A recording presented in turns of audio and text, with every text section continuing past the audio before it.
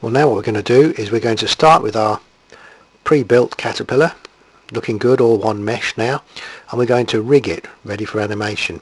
Rigging is the process of building a skeleton or an armature which will be used to animate. You animate the armature or the set of bones underneath and that deforms the mesh which is the, which is the in our case is this caterpillar. So let's start off by carefully positioning our 3D cursor at the tail of the caterpillar look in the top view and also in the side view position it carefully once you've got the maybe left click to position the 3D cursor um, now if you take your time over this because this is probably in some ways one of the most important tutorials on the CD on the DVD um, because getting the the way that armatures work in combination with the mesh is very important. If you press the space bar we do then to add and we add an armature. It comes in like this. It'll be have the tip of the bone already selected so you can press G to grab and you'll find that many of the commands that work on the mesh that you're familiar with will work with the bones. G to grab, position it carefully at the joint, the, the first joint there or the last joint at the tail and then E to extrude, extrude out another bone Again position that very carefully. So this is going down the center of our caterpillar. E to extrude. So the reason for choosing a caterpillar will become apparent that although it's a very simple uh, character to do in that it only has one bone going through it in our case um, it still uses the features that we use on more complex meshes as, as things go along. Now I continue to do E to extrude and extrude a couple up through the neck and then extrude one for controlling the whole of the head. And we can move things and edit things around as we go along. Um, you'll notice that we're in edit mode at the moment obviously for the for the armature. Now we've got that slightly in the wrong place. That should be at the neck. So right click on it it goes yellow and then G to grab. And we can then move the position of the start point of these bones. You can move the tip and you can also move the root of the bone I hit tab and we go into object mode or choose object mode. And now we can see um, just double check that it's positioned correctly through the center of our through the center of our um, caterpillar.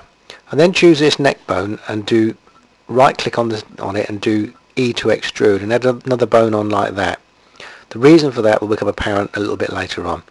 I'm going to save as we go along always worth doing because um, you'll notice with latest versions of Blender when you do file and open there's an open recent list which makes it much easier for finding previous builds if you've had to go back a step or two. Now I'm going to actually give it a better name because the mesh object, the body of our caterpillar, isn't actually named anything so I'm just going to call it the first part of caterpillar, C-A-T-E-R you can call it something else if you like. Even give it the character's name. I was thinking of calling this guy Kevin the Caterpillar. That may be a bit too sad. Anyway, on with this tutorial. So now, with the body selected, we then shift click to select the um, to, to select the armature. Control P, and we we don't create the groups. We're not going to create any vertex groups because we're going to do, do that a different way in a moment. So now we've parented the um, mesh to the armature. So what that means is that um, when we move the armature, it'll move the, uh, the mesh in effect.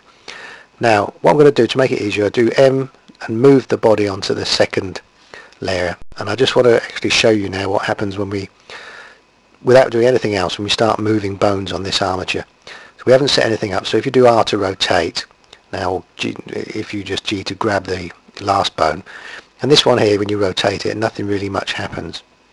Same with the top one, it just rotates the head. Now that's called FK or forward kinematics, I think is the correct pronunciation. But we're going to use something called inverse kinematics the best way is to show you.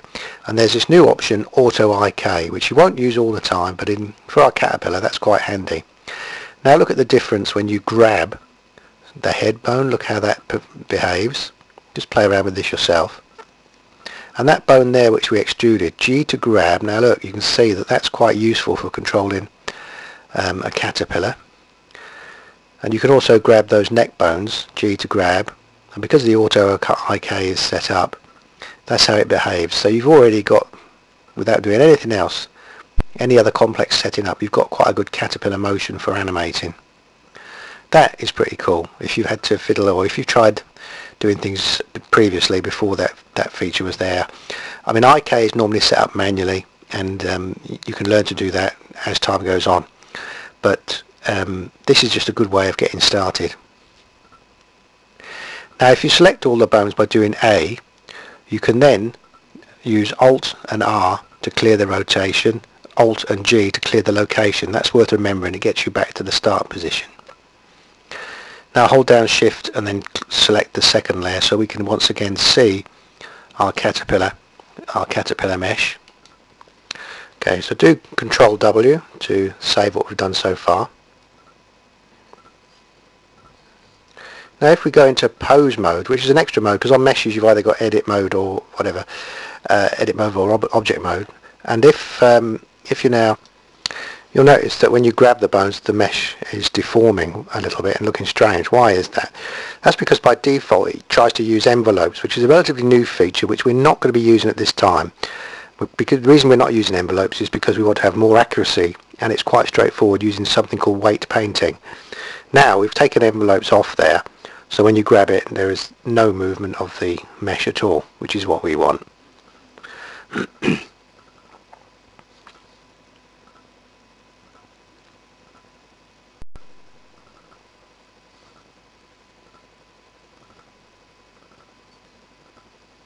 Now we're going to also click on the X-ray option which we've got the armature selected and we put X-ray on. X-ray it kind of works the opposite way around to what you'd expect because you actually put X-ray on on the thing that is going to be visible through other objects. So um, it, it's just a description after all. So X-ray makes the object you chose to be X-ray visible through other objects. And when we're doing posing that's going to make it an awful